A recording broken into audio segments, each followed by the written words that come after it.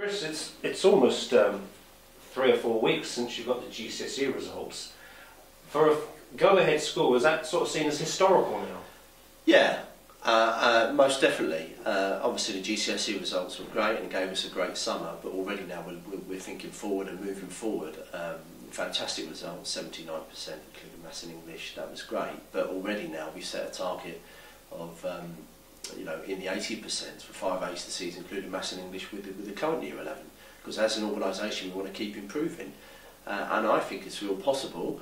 Uh, I really do think it's possible. Um, I think as a, an organisation, you should always try to improve. And if we get 80%, that's still 1% improvement. But we will continue to look to improve in, in every area.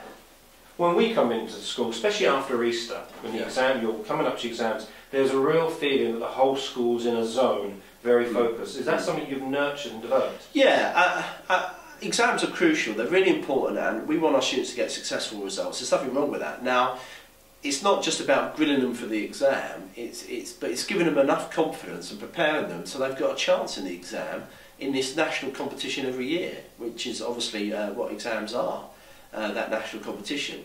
So yes, uh, you know already now, you know, in plans we've got in place to, to look at what we did last year and improve it for this year uh, to make sure that our students are prepared as much as they can be, uh, you know, very professionally, very efficiently, very effectively, so they can go in there and be successful again this year. Six form, what's the time scale for the sixth form? Well, sixth form is, is, is cracking on nicely. We are going to open next September. Obviously, the building won't be ready for next September. We've had a, a fantastic injection of, of money from the local authority and a, an injection of confidence as well from them, which is massively appreciated by myself, uh, which is great. Uh, we won't let them down. Um, we want to produce an outstanding sixth form. Obviously, we've got Mrs. Dillon, the head of sixth form, in place. Um, uh, you know, what we're looking at this uh, month is, is information, this month and this term, information to parents regarding the sixth form, sixth form development. Uh, children will start to apply uh, at the end of this term, January, deadline February.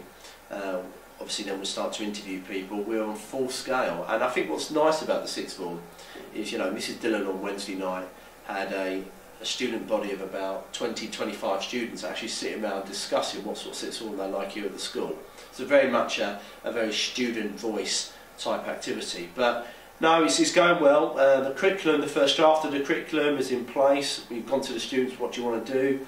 Um, very much a good vocational input as well. Uh, you know, meeting the needs of the local community and the business community. No, it's gone very positively. In terms of the building, uh, first start of work and building work will probably be about Easter time, okay, and, and hopefully then, um, most certainly during the course of the next year, uh, you know, the building will be, be completed as well. About the, the talk you gave to parents and the impressions given the sixth form is, I think you said, you're within, we're within Spittendon's Canary Wharf and you want to have a business-like approach. Yeah. You still maintain that? Yeah, and I think schools, as always here at the campus, we're very much a corporate model in terms of our accountability systems in school. And I very much want this as part of the sixth form as well. Um, a very corporate model, um, look, business-like model, uh, you know, preparing people, also not just for Canary Wharf, but local businesses. If you look at the industry in Thurrock, a lot of business are less than three, four people. You know, uh, people uh, showing fantastic entrepreneurial skills, earning their living, developing their business. Uh, and we want to prepare students for that. In the area, the, the, the massive, um, no doubt, that the percentages of people working in small businesses or with ICT is really high. And we want to make sure we're preparing a workforce for here, but of course also for the city as well, which a lot of people on Chafford travel into the city to work, of course.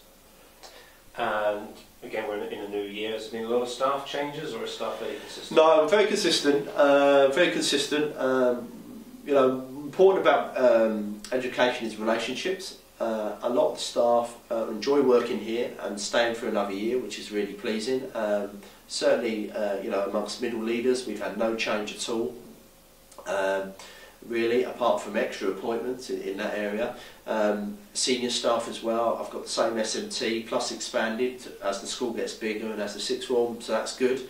Um, fantastic new business manager, which is really useful and really helpful for the school, so that's excellent, Chris Emerson.